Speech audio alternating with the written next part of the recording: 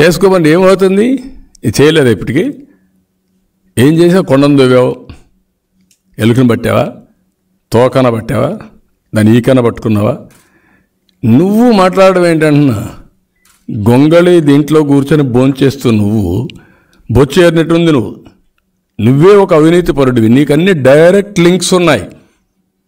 పాత నలభై మూడు వేల కోట్లు ఉన్నాయి పదకొండు ఛార్జ్ షీట్లు ఉన్నాయి సిబిఐ. తొమ్మిది షాట్లు ఉన్నాయి.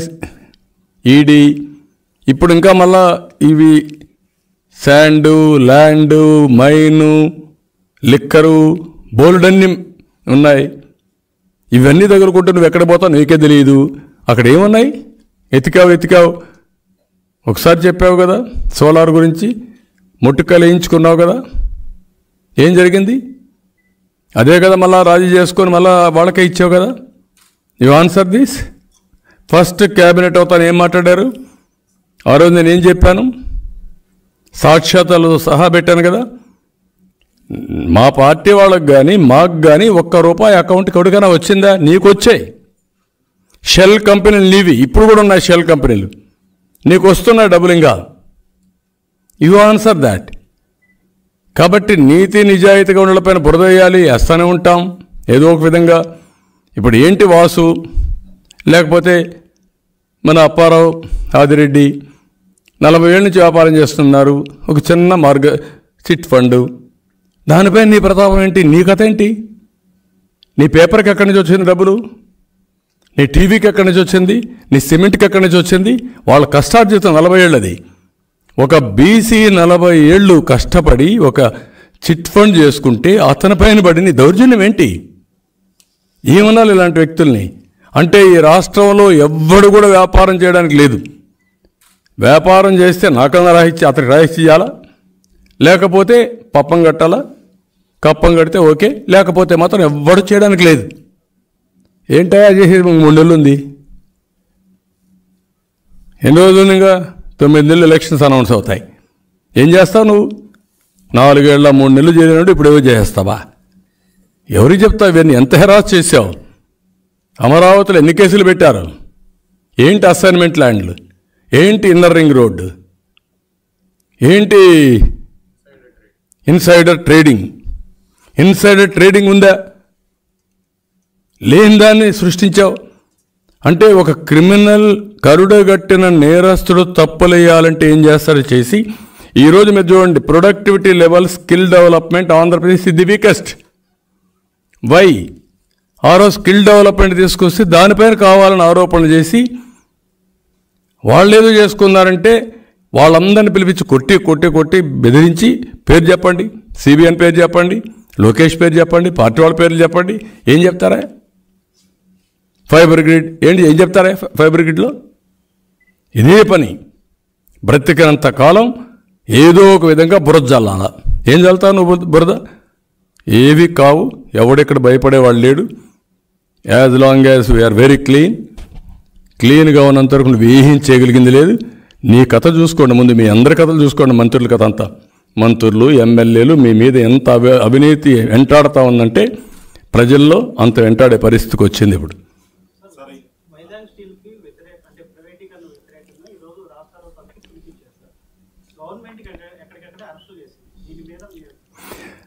నేను అదే అనేది నేను తెలుగుదేశం పార్టీ హయాంలో ఎన్డీఏ గవర్నమెంట్లోని ఆ రోజు వాజ్పేయి గారి పీరియడ్లో ఒకసారి ప్రైవేటైజ్ చేయాలంటే నేను ఒకటి చెప్పాను. అన్నీ చేసిన తర్వాత వైజాగ్ కూడా చేయండి అంతవరకు చేయడానికి వీల్లేదు. మీరు మాకు రివాల్వింగ్ ఫండ్ ఇవ్వండి. రివాల్వింగ్ ఫండ్ ఇచ్చారు అప్పుడు. రివాల్వింగ్ ఫండ్ ఇచ్చి క్యాప్ మనం వీళ్ళు చేయాల్సినటువంటి ఈక్విటీ పెంచి తద్వారా దాన్ని రివైజ్ చేసినట్టు నేను కూడా మానిటర్ చేస్తే లాభాలకు వచ్చింది. ఇప్పుడు కూడా ఏమడుగుతున్నాం సేల్ తీసుకోమని అడుగుతున్నారు. తప్పేంటి? ఎందు నేను అడిగాను విశాఖపట్నం కూడా చెప్పాను.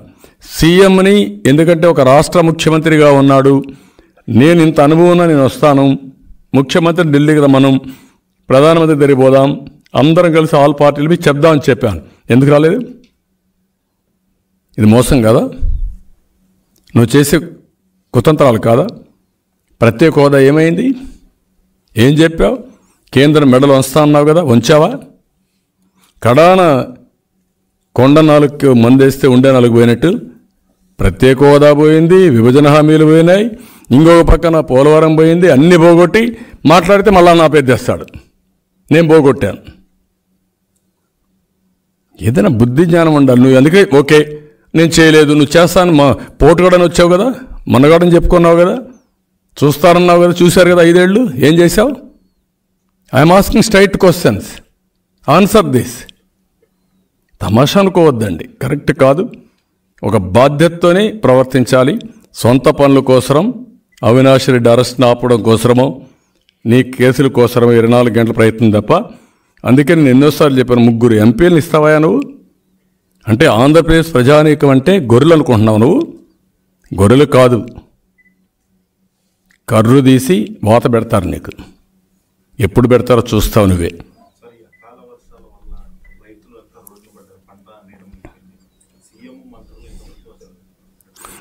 అడుగుతున్న ఇదేనా పద్ధతి? రైతాంగం కష్టపడి పంట పండిస్తే అకాల వర్షాలు వచ్చి ఊహించిన విధంగా వచ్చి ఎక్కడికక్కడ పంటలను నాశనం అయిపోతే కడాన గోనె సంచులు ఇవ్వకుండా కడాన ధాన్యం కొనుగోలు చేయకుండా వాళ్ళకు డబ్బులు కూడా వాళ్ళ అధికారులు ఆర్బీఐకి ఎత్తిపోయింది. అవి కూడా ఎక్కడ కూడా పనిచేయకుండా కడాన ఈరోజు రాష్ట్రంలో ఉండే రైతాంగం అంతా కూడా ధాన్యాన్ని వరదలకు వదిలేసి వచ్చిన ధాన్యాన్ని తీసుకుపోదాం అనుకుంటే రివర్స్ కట్టమంటున్నారు ఈ రైస్ మిల్లర్స్. ఒక రైతు కానీ ఒక పది టన్నులు పది టన్నులు తీసుకుపోతే వాళ్ళకి దగ్గర దగ్గర ఇరవై వేలు పదిహేను వేలు రివర్స్ కట్టమంటున్నారు.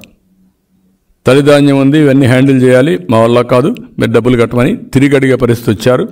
కడాన కొత్త సంచులు కూడా ఇవ్వలేని అసమర్థ ప్రభుత్వం ఇది. అందుకే రేపు వెళ్తున్నా ఈస్ట్ గోదావరి వెస్ట్ గోదావరికి ఆ రెండు జిల్లాలో తిరిగి ఈ ప్రభుత్వం చేసే తప్పుడు విధానాల్ని ఎండగట్టి రైతులకు అండగా ఉండడానికి రేపు వెళ్తున్నాను. రేపు ఎల్లుండు తప్పకుండా ఎండగడతాం.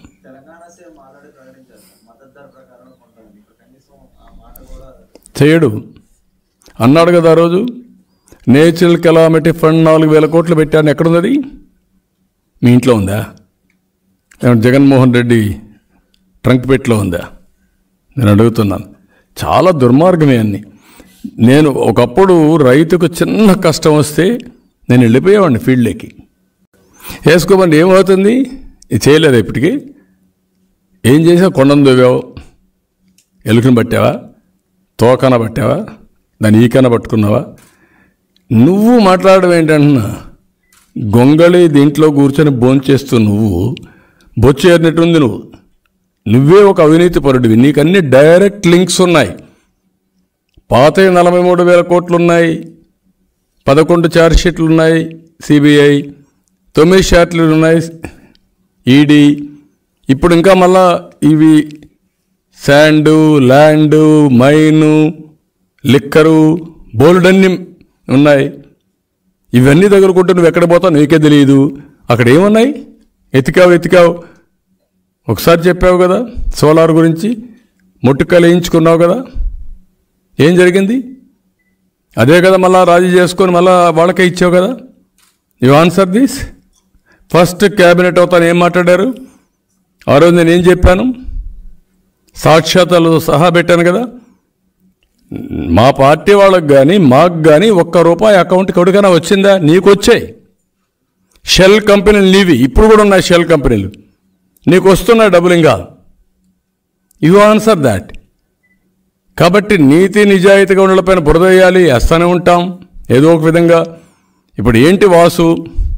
లేకపోతే మన అప్పారావు ఆదిరెడ్డి నలభై ఏళ్ళ నుంచి వ్యాపారం చేస్తున్నారు. ఒక చిన్న మార్గ చిట్ ఫండ్. దానిపై నీ ప్రతాపం ఏంటి? నీ కథ ఏంటి? నీ పేపర్కి ఎక్కడి నుంచి వచ్చింది డబ్బులు? నీ టీవీకి ఎక్కడి నుంచి వచ్చింది? నీ సిమెంట్కి ఎక్కడి నుంచి వచ్చింది? వాళ్ళ కష్టార్జితం నలభై ఏళ్ళది. ఒక బీసీ నలభై ఏళ్ళు కష్టపడి ఒక చిట్ ఫండ్ చేసుకుంటే అతని పైన పడిన దౌర్జన్యం ఏంటి? ఏమనాలి ఇలాంటి వ్యక్తుల్ని? అంటే ఈ రాష్ట్రంలో ఎవ్వడు కూడా వ్యాపారం చేయడానికి లేదు. వ్యాపారం చేస్తే నాకన్నా రాహిత్య అతనికి రాహిత్య ఇవ్వాలా లేకపోతే పప్పం కట్టాలా? కప్పం కడితే ఓకే లేకపోతే మాత్రం ఎవ్వడు చేయడానికి లేదు. ఏంటయా చేసేది? మూడు నెలలు ఉంది. ఎన్ని రోజులు ఇంకా తొమ్మిది నెలలు ఎలక్షన్స్ అనౌన్స్ అవుతాయి. ఏం చేస్తావు నువ్వు? నాలుగేళ్ళ మూడు నెలలు చేరినట్టు ఇప్పుడు ఏవో చేస్తావా ఎవరికి చెప్తావు ఇవన్నీ? ఎంత హెరాస్ చేసావు?